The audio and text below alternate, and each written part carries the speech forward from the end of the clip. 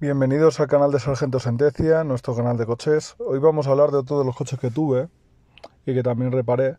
No es otro que el Volkswagen Bora V5 del año 1999. Era de las primeras unidades nacionales, con un color blanco candy, código de color B9A. Y fue un coche que disfruté durante bastantes meses eh, ya veis que de estética no estaba nada mal, eh, lucía bastante ese color blanco, ya matrículas provinciales todavía. Y poco a poco se le fueron haciendo cosas a este modelo, eh, porque cuando lo compré, pues esto ya es todo un John Timer, evidentemente. Mm, sí que me gustaba la estética, sí que es verdad que el dueño anterior le había puesto los intermitentes de la versión restyling que es un detalle que a mí me gustaba bastante. Pero aún así, pues para mi gusto le faltaban cositas. Y tenía unos buenos neumáticos Michelin Primacy que disfruté bastante. Eh, la verdad es que de consumo, bueno, pues estos motores ya sabemos que son algo bastones. Pero sí que es cierto que el sonido del V5 es algo que te deja maravillado. Suena muy bien, sobre todo en tramos de 100 a 120 sonaba de una forma espectacular este vehículo. Estaba bastante bien de... En general, sí que es verdad que le faltaba su anagrama V5 de la Calandra, que era un detalle que diferenciaba al resto de la gama Bora.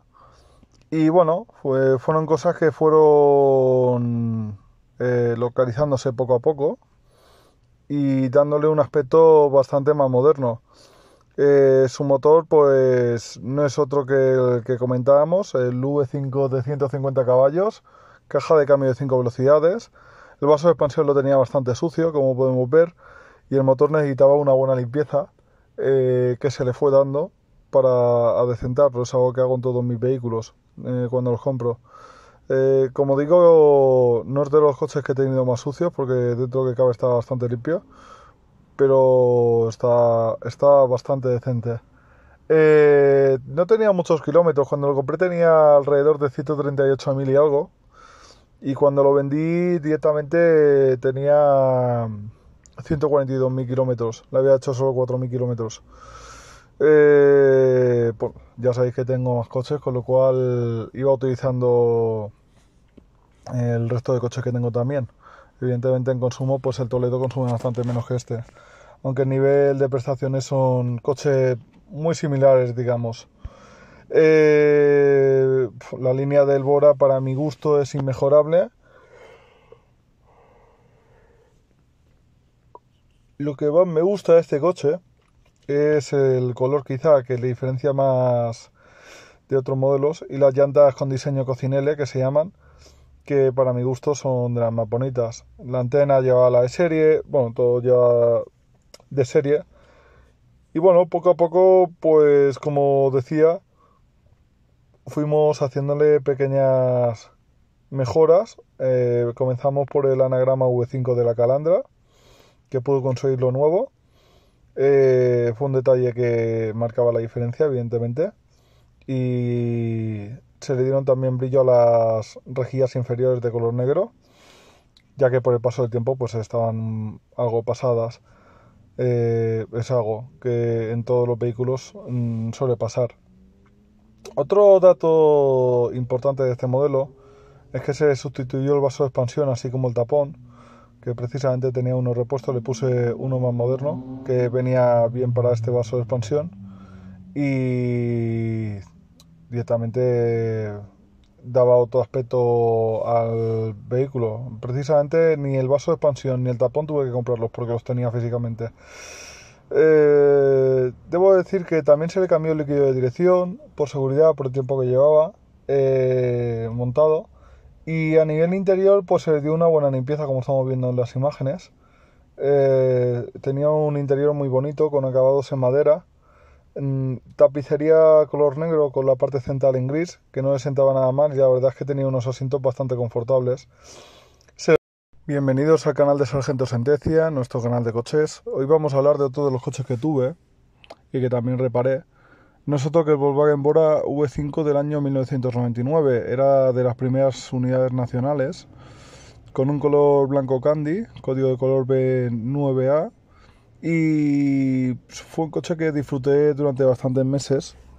Eh, ya veis que de estética no estaba nada mal, eh, lucía bastante ese color blanco, ya matrículas provinciales todavía. Y poco a poco se le fueron haciendo cosas a este modelo, eh, porque cuando lo compré, pues esto ya es todo un John Timer, evidentemente.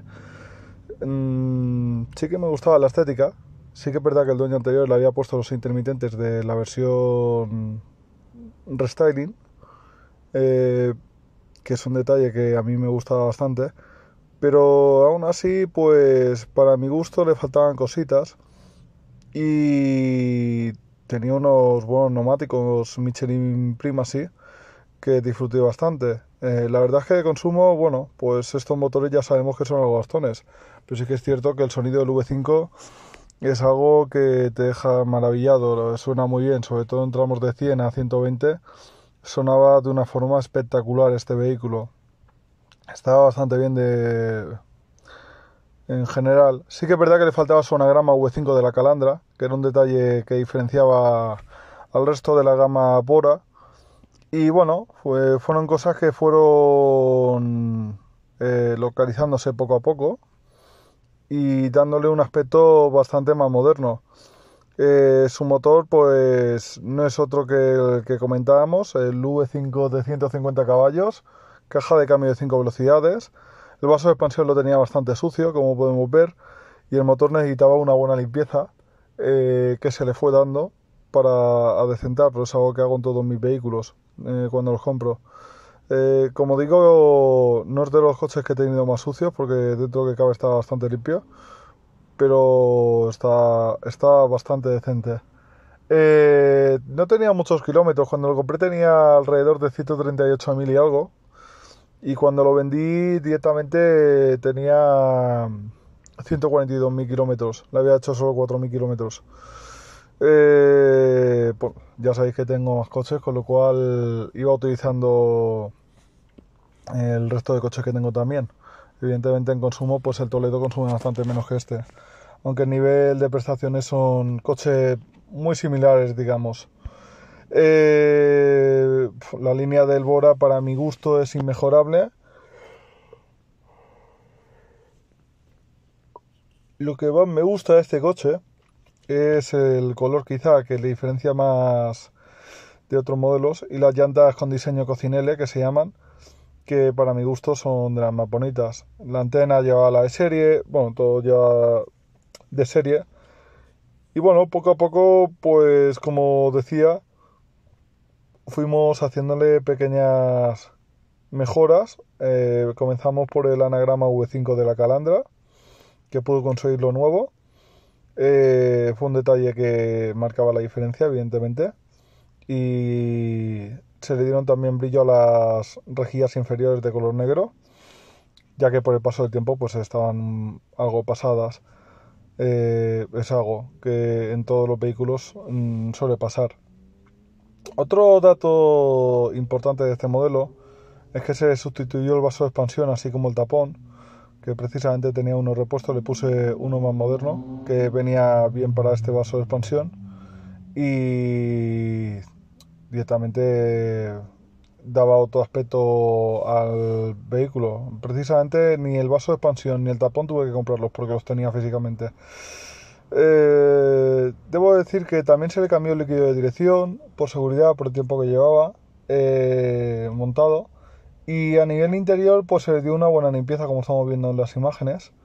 Eh, tenía un interior muy bonito, con acabados en madera tapicería color negro con la parte central en gris, que no le sentaba nada mal y la verdad es que tenía unos asientos bastante confortables. Se le puso también luces automáticas eh, con función Coming Home.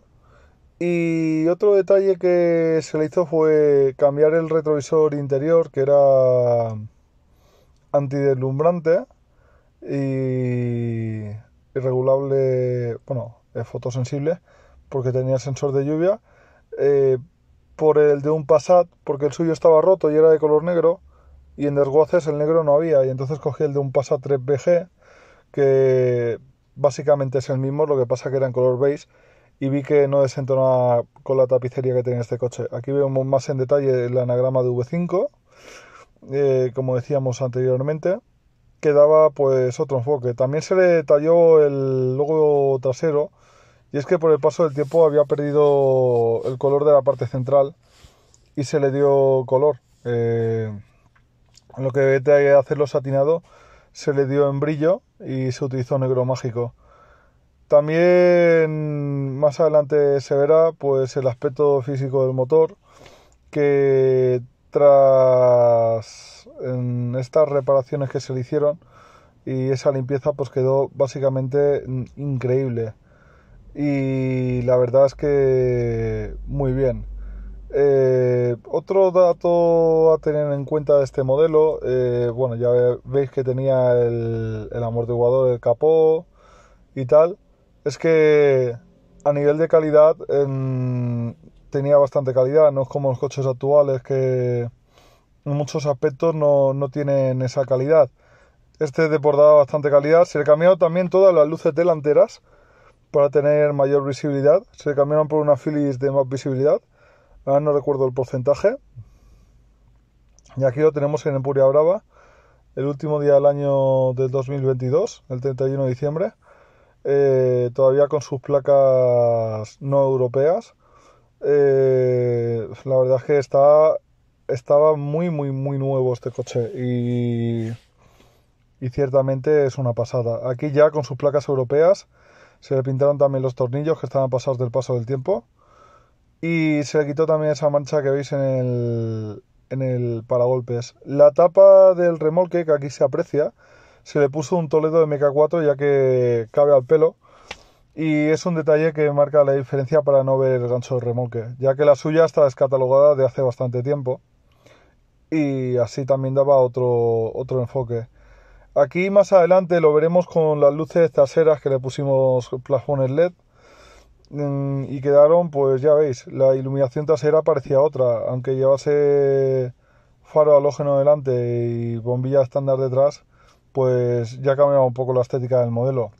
Es algo que para mi gusto